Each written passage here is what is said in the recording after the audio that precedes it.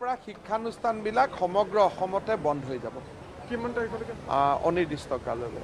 সকলো high school school college কোনোবা জিলাত তিনিশ কেজ হওক বা নহওক এতিয়া সম্পূৰ্ণৰূপে যিহেতু দুটা বজাৰ পিছত স্কুল দোকান পোহাৰ বন্ধ কৰিব নিৰ্দেশ দিছে অসম চৰকাৰে তাৰ পৰিপ্ৰেক্ষিতত অসমৰ প্ৰতিখন জিলাৰে স্কুল কলেজ আহ, অনিৰ্দিষ্টকাললৈ বন্ধ হ'ব। আজিৰ পৰা শিক্ষানুষ্ঠানবিলাক সমগ্ৰ অসমতে বন্ধ হৈ যাব।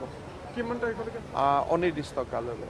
সকলো হাইস্কুল স্কুল কলেজ কোনোবা জিলাত তিনিশ কেজ হওক বা নহওক এতিয়া সম্পূৰ্ণৰূপে যিহেতু দুটা বজাৰ পিছত স্কুল দোকান পোহাৰ বন্ধ কৰিব নিৰ্দেশ দিছে অসম চৰকাৰে তাৰ পৰিপ্ৰেক্ষিতত অসমৰ প্ৰতিখন জিলাৰে স্কুল কলেজ আহ, অনিৰ্দিষ্টকাললৈ বন্ধ হ'ব।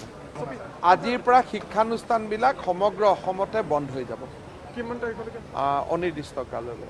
সকলো হাইস্কুল স্কুল কলেজ কোনোবা জিলাত তিনিশ কেজ হওক বা নহওক এতিয়া সম্পূৰ্ণৰূপে যিহেতু দুটা বজাৰ পিছত স্কুল দোকান পোহাৰ বন্ধ কৰিব নিৰ্দেশ দিছে অসম চৰকাৰে তাৰ পৰিপ্ৰেক্ষিতত অসমৰ প্ৰতিখন জিলাৰে স্কুল কলেজ আহ, অনিৰ্দিষ্টকাললৈ বন্ধ।